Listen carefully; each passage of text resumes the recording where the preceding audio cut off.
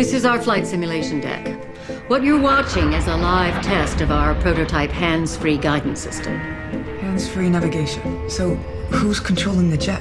Electrodes in the pilot's helmet are picking up on his thought patterns, which send commands to an onboard computer. The pilot has been given a pharmaceutical enhancement,